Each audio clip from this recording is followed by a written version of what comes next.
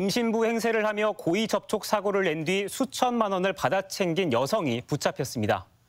전주 안산경찰서는 전주와 서울, 광주, 부산 등 전국을 돌며 고의적으로 사고를 낸 뒤 합의금 2,700만 원을 받아 챙긴 혐의로 30대 여성을 붙잡아 조사 중입니다.